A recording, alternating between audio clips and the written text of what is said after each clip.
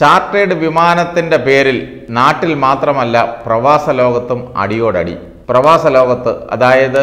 Gulf രാജ്യങ്ങളിൽ പലയിടത്തും ഈ ചാർട്ടേഡ് വിമാനങ്ങളുടെ പേരിൽ ആരോപണങ്ങളും പ്രത്യാരോപണങ്ങളും സജീവമായി കോവിഡ് കാലത്ത് നാടണയാൻ ആഗ്രഹിക്കുന്നവർക്കായി വിവിധ സംഘടനകൾ ഏർപ്പെടുത്തിയ ചാർട്ടേഡ് വിമാനങ്ങൾ അതിൻ്റെ പേരിൽ ഫലത്തിൽ രാഷ്ട്രീയ യുദ്ധക്കളമായി മാറി നേരത്തെ ഒരു മെയ്യായി നിന്ന് പ്രവർത്തിച്ച സംഘടനകളാണ് ഇപ്പോൾ നേർക്കുനേർ നേർ കാണുമ്പോൾ കീരിയും പാമ്പിനെയും പോലെ പെരുമാറുന്നത് കൊറോണയുടെ ആദ്യ കാലഘട്ടത്തിൽ പ്രവാസ ലോകത്ത് എല്ലാ പ്രവാസി സംഘടനകളും ഒത്തൊരുമിച്ച് കൈകോർത്ത് ഇരു മെയ്യാണെങ്കിലും ഒരു മനസ്സോടെയായിരുന്നു അവരുടെ പ്രവർത്തനങ്ങൾ അതിൽ സൗഹാർദ്ദങ്ങളും കൂട്ടായ്മകളും ഉണ്ടായിരുന്നു കൊറോണയുടെ പേരിൽ ഒറ്റപ്പെട്ടു പോയ പ്രവാസികൾക്ക് സഹായം എത്തിക്കുന്നതിനും ആഹാരം എത്തിക്കുന്നതിനുമെല്ലാം ഈ സംഘടനകൾ പരസ്പരം മത്സരിച്ചായിരുന്നു പ്രവർത്തിച്ചിരുന്നത് മാത്രമല്ല അവർക്കിടയിൽ ഒരു സൗഹാർദ്ദ മനോഭാവവും ഉണ്ടായിരുന്നു ഈ സഹായങ്ങൾ ദുരുപയോഗം ചെയ്യാതിരിക്കാൻ സംഘടനാ പ്രവർത്തകർ തമ്മിൽ ആശയവിനിമയവും നടന്നിരുന്നു എന്നാൽ ചാർട്ടേഡ് വിമാനങ്ങളുടെ സമയമായപ്പോൾ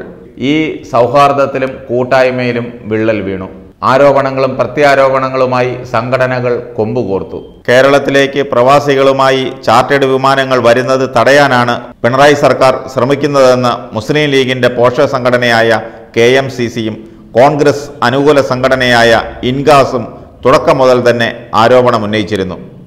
പ്രവാസികളുടെ കാര്യത്തിൽ വലിയ കരുതലുണ്ടെന്ന് പ്രഖ്യാപിച്ച മുഖ്യമന്ത്രിക്ക് പ്രവാസ ലോകത്ത് വലിയ സ്വീകാര്യതയായിരുന്നു ആദ്യകാലങ്ങളിൽ ഈ സമയത്താണ് K M C C chartered വിമാനങ്ങളുമായി രംഗത്തെത്തുന്നത് ഈ വിമാനങ്ങളിൽ ചാർജ് കൂടുതലായിരുന്നു എന്നാൽ വന്ദേ ഭാരത് മിഷനിലെ വിമാനങ്ങളുടെ യാത്രാ നിരക്ക് അടുത്ത് നിൽക്കുന്നതാവണം ചാർട്ടേഡ് വിമാനങ്ങളിലെയും നിരക്ക് എന്ന കേരള സർക്കാരിൻ്റെ നിലപാട് തുടക്കത്തിൽ തന്നെ ഈ സംരംഭത്തിന് തിരിച്ചടിയായി പ്രവാസികൾ നാട്ടിലെത്തുന്നത് തടയാനാണ് കേരള സർക്കാർ ശ്രമിക്കുന്നതെന്ന് കെ എം സി സിയും ഇൻഗാസും ആരോപണവുമായി രംഗത്ത് വന്നു ഈ സംഘടനകൾ പ്രവാസ ലോകത്തും ഈ സംഘടനകളുടെ മാതൃ സംഘടനകൾ കേരളത്തിലും പ്രചരണം ആരംഭിച്ചതോടെ സർക്കാരിനെതിരായ വികാരത്തിന് തിരികൊളുത്താൻ സാധിച്ചു തൊട്ടു പിന്നാലെയാണ് പ്രവാസികൾക്കുള്ള സൗജന്യ ക്വാറന്റൈൻ സംവിധാനം സർക്കാർ നിർത്തലാക്കിയത് ഇതും സർക്കാരിനെതിരായ പ്രചരണത്തിന് ആയുധമായി ടിക്കറ്റ് നിരക്ക് സംബന്ധിച്ച തർക്കം സമവായത്തിലെത്തിക്കുകയും പ്രവാസികളുടെ ക്വാറന്റീൻ വീട്ടിൽ തന്നെ മതിയെന്ന തീരുമാനമുണ്ടാക്കുകയും ചെയ്തത് ഒരു പരിധിവരെ പ്രതിപക്ഷത്തിൻ്റെ ആരോപണങ്ങളുടെ മുനയൊടിച്ചു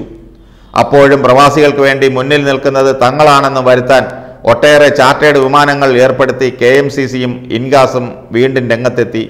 ഇതിന് മറുപടിയായാണ് സി പി എം അനുകൂല സംഘടനകളും ചാർട്ടേഡ് വിമാനങ്ങളുമായി രംഗത്ത് വന്നത് കെ എം സി സിയും ഇൻഗാസും ട്രാവൽ ഏജൻസികളുമായി ചേർന്ന് ചാർട്ടേഡ് വിമാനങ്ങളുടെ പേരിൽ ആവശ്യക്കാരെ ചൂഷണം ചെയ്യുകയാണെന്ന് സി പി എം അനുകൂല സംഘടനകൾ വിമർശനങ്ങൾ ഉയർത്തി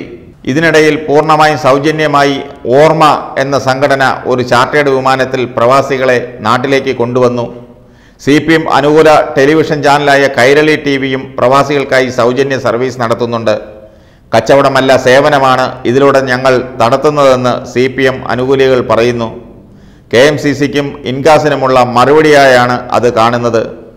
എന്നാൽ ഓരോ വിമാനത്തിലും നാൽപ്പതും അൻപതും പേർക്ക് സൗജന്യമായി യാത്രകൾ ഒരുക്കുകയാണ് തങ്ങൾ ചെയ്യുന്നതെന്നും അർഹരായ നിരാലംബർക്ക് ഇനിയും എല്ലാ വിമാനത്തിലും ഇത്തരത്തിൽ സൗജന്യ യാത്ര ഒരുക്കുന്നുണ്ടെന്നും ആരോപണത്തിന് മറുപടിയായി കെ എം സി സിയും ഇൻഗാസും ആവർത്തിച്ചു അധികം വൈകാതെ നാട്ടിൽ നടക്കുന്ന തദ്ദേശ സ്വയംഭരണ സ്ഥാപനങ്ങളിലേക്കുള്ള തെരഞ്ഞെടുപ്പ് മുന്നിൽ കണ്ടാണ് ഈ ആരോപണങ്ങളും പ്രത്യാരോപണങ്ങളും അഴിച്ചുവിടുന്നത്